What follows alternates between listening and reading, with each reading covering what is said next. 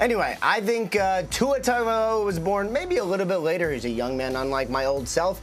Let's turn our attention, go from Dallas all the way to Miami. I want to welcome in a couple of my buddies.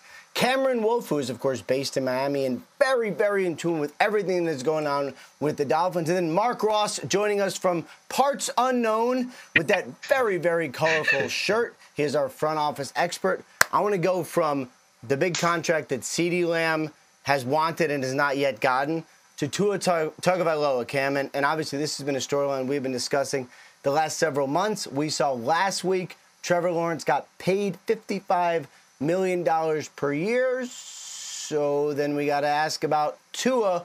What is the latest on his situation?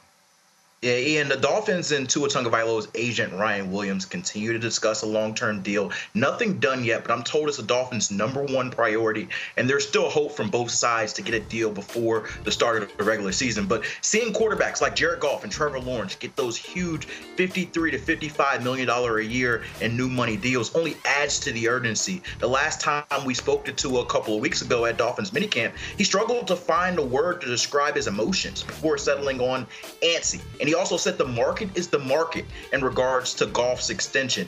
Look, Tua's probably the most polarizing quarterback I've ever covered in terms of public opinion, but his numbers tell the story.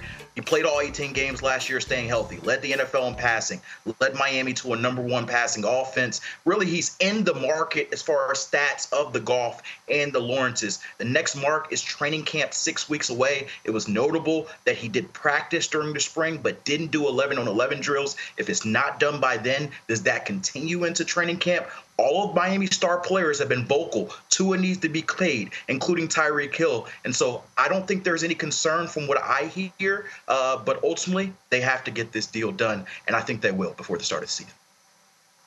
Yeah, 100% agree with you that they have to get it done, and they will get it done. And despite all the consternation and polar, polarizing opinions about Tua, whoever the next quarterback up is, they get paid. And it doesn't matter if you're better than this guy or that guy, unlike we what we're seeing in the wide receiver market, where there still is a little bit of that, well, what is the true value?